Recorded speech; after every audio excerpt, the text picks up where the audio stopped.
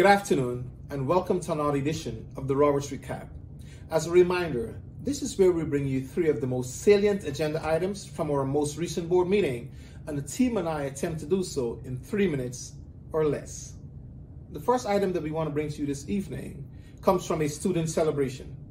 At last night's board meeting, we had student Air Force JROTC Commander and Assistant Commander Emily Sennett and Benjamin Neubauer present to us a high-level overview of all of the outstanding things that are happening with our Air Force JROTC program. The program under the watchful eyes of Chief Holmes and retired Major Nygaard is nationally ranked. As a matter of fact, what was shared with us is this program is ranked within the top 5% of programs in the entire country. We are grateful for the presentation by those two cadets last night. The second student presentation, one that we've brought you before, is Christopher Zhao. Christopher is one of our outstanding AP performance students. Remember, our advanced placement program on our scores have continued to rise and is ranked nationally. But Christopher has taken it to the next level. He scored perfectly on his AP research exam, and he is one of only 311 students in the entire world, which is just over 1% of students who take the AP assessments to score perfectly. We are proud of these three students and all of the other students who knock on our doors each and every day.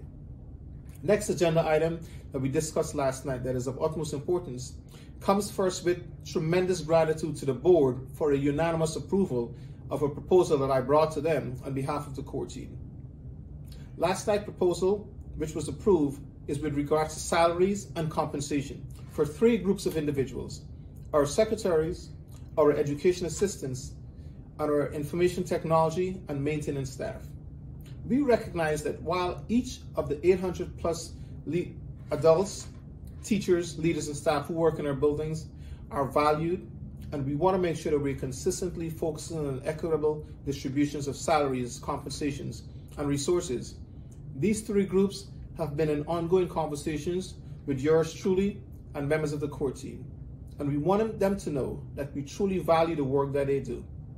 While last night's approval came at a cost of about $391,000 to the board, both the board and the district's leadership wants to make sure that it is very, very clear that we truly value the work that each of these members of the foregoing groups have done and continue to do. We are proud of the work that they're doing and we want to say thank you. Remember, the Roberts recap, three salient items, three minutes or less. We look forward to seeing you again soon.